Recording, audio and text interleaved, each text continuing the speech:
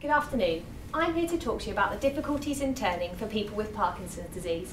But to start off with, I'd like to invite you to stand up if you wish.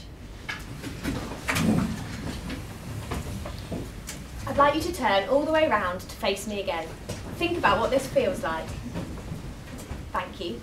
Now keeping your head, hips and hip body fixed together, please repeat that turn. Think about what this feels like. Thank you, please sit down. What you might have just experienced is representative of the differences in turning between someone without and with Parkinson's disease. Parkinson's is a progressive neurodegenerative condition that due to a deficit in the brain affects the size, speed and coordination of the movements we produce. In particular, the complex but everyday activity of turning around.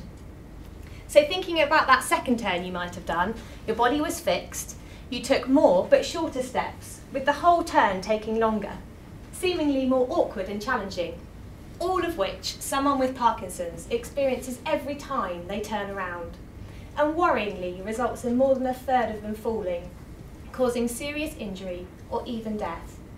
So with five more people in the UK being diagnosed with this condition by the end of our competition today, I hope you'll agree that turning really is an important issue to tackle. So what can we do about it? Well, we know these difficulties in turning exist, which I believe to fall into three categories. Problems moving the feet, rotating the body and head, and balance. But what we don't know is how these three interact together, with current treatment focusing mainly on the feet. So I designed a number of measures to look at this, using three-dimensional movement analysis. I then use these measures to analyse the impact of an intervention that, unlike traditional therapy, appears to be able to treat all three, which in this case is ballroom dancing. Ballroom dancing focuses on the quality of the steps you take, the position and rotation of your body and head, and balance, therefore treating our three problem areas.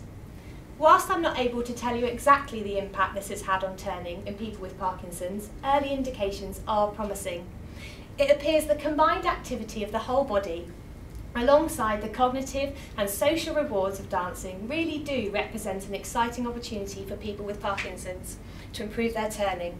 Therefore, turning less like the awkward and challenging second turn you completed and more like the fluid, easy but safe turn you completed first. Thank you for listening.